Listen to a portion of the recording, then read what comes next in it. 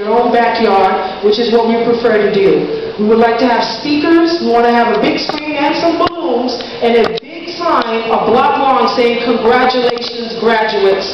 We appreciate you." This is what I would like to see June 6th. I do not want my daughter going to East LA College where nobody cares about our children to be slaughtered. Thank you, Hilda Solis, in advance for making that change.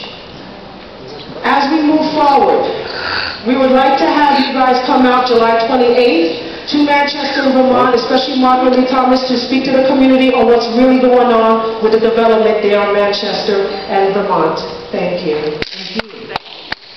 Wow. request to speak on any of the items on the agenda, so please read the items on which we will be voting. The items before you are items 1D, 11, 14, You are 18, something. 19, 22A, 22B as amended, You'll be on top. 22D. Supervisor Barger votes no on the item, 22E, 22F, 25.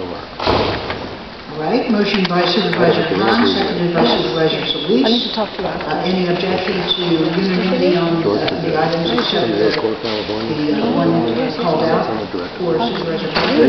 That will be recorded as a three-vote item. All right. I don't think there's any request for any special items at this time, so it's appropriate now to hear public comment. Uh, 21 people have uh, signed up to speak, so we will be allocating one minute to each speaker. So uh, please call the first uh, eight or 10 people who signed up. You you and I need to get together. Thank you, Madam Chair. Uh, The following speakers will sign up, please come forward and staff You all introduce weird, you. are you? You're not the only one on I'm sick of it. Celia Madrigal, Chance Herwood, Chaplain Revo, Let's get together. Chaplain Ruth, I'm going to give you this. This is our next event. Denise Estelle, And I am in What is it, getting phone? LG Huckle, State. Eric Previn. Please come forward and staff will proceed. There's this,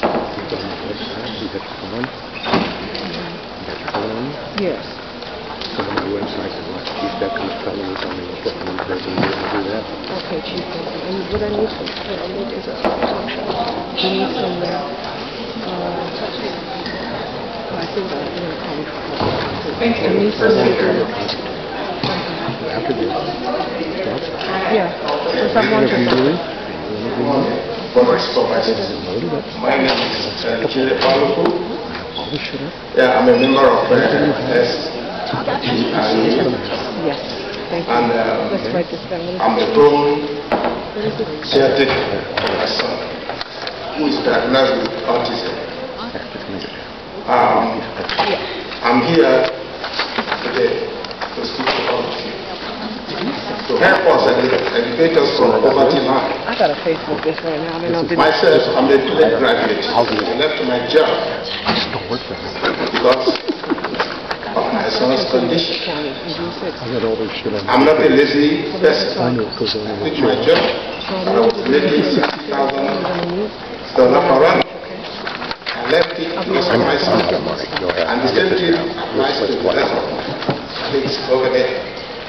So what I'm asking you people is to help us elevate us from poverty so that one day we